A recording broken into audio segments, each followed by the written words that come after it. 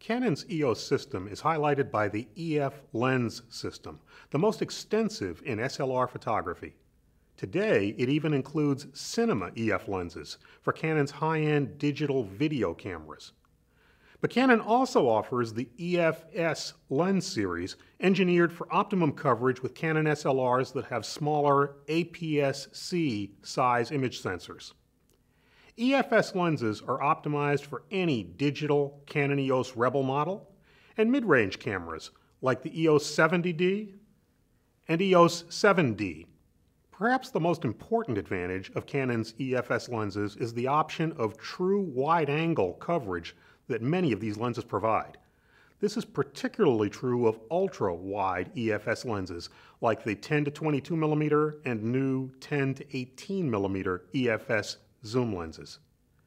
EFS lenses can only be used on cameras with a smaller image sensor and a white index mark on the camera's lens mount. Keep in mind, however, that any of the traditional Canon EF lenses, which cover the area of a full frame sensor, can indeed be used on any EOS SLR, film or digital.